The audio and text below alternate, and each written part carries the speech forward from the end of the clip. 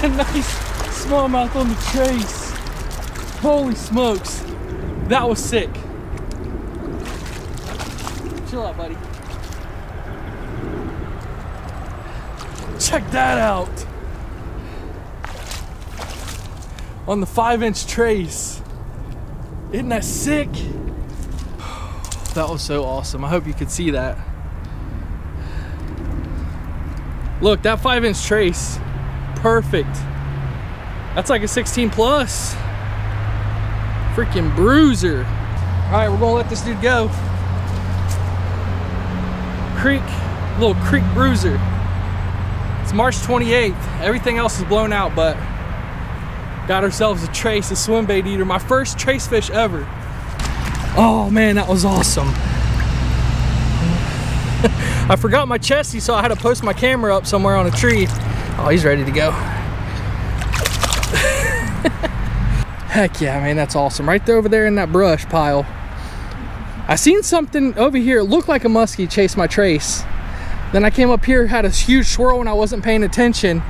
Cast it back out there and let it sink just a little bit and started slow retrieving. And the current started dragging my swim bait along that brush.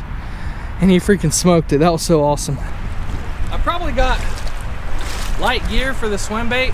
The wind's about to blow my camera over, maybe. I got light gear, I guess. I don't know. I, got, I brought 16 pound fluorocarbon. This is only a five inch bait, and I think it just weighs barely over an ounce on a 7.3 medium heavy fast action. That's the Daiwa Kage. On the Tatula SV, 8 to 1. This, this little combo is going to be a creek killer, and I can't wait till it gets a little bit warmer.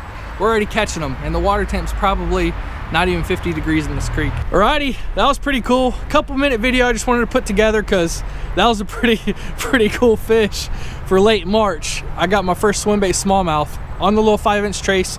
I believe that's a French bone, the French bone color.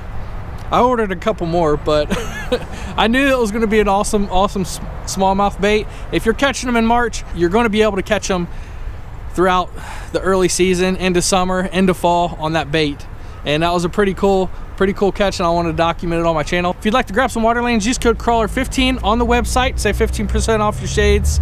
I might be able to get those traces into Vance Outdoors. If you'd like me to get those traces and ask Vance Outdoors to start carrying them, comment down below on this little video.